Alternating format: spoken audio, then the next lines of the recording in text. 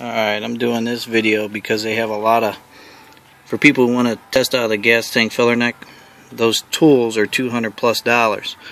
So I'm going to give a couple pretty neat but simple ways for checking it. One is, just get yourself a rubber glove, cut the finger out, tape it, and then I can't do this with both hands. And then, um, you know, put a rubber band over it. So let me pause this. Alright, so there it is. Very cheap and simple for those who don't want to spend any money at all. There's a rubber band around there. And then you take the, you take your smoker and turn it up here.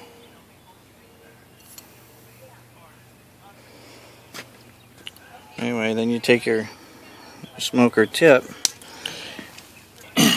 and this one here, I'm using the, the bigger hose. So, let me try and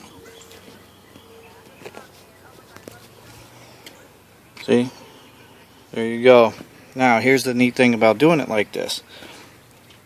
Now, my rubber band is not all the way on there but you get the idea because as the system fills up I would probably maybe use a lighter hose but the glove will blow up. That will let you know when the system is getting full. So it's very cheap but it's doing two things. And then here's another really neat way to uh, attach something to the tip. And the next one here we go. I'm kind of proud of this little idea here. Very simple.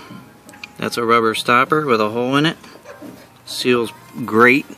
Obviously different filler necks are going to have different sizes. So there's that. Let me uh, hook that back up.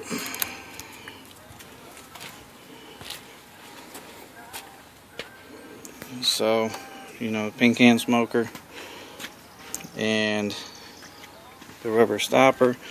And go ahead and open this up a little bit.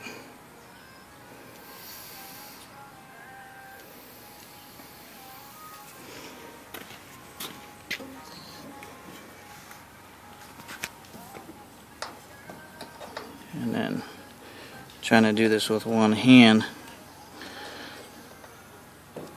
I can see where it's not sealing, so it's tried. It's hard to do it with one hand. But uh, rubber stopper, and uh, so between the rubber stopper, the glove, just a couple ideas on the cheap. Like I said, those tools are a decent amount of money.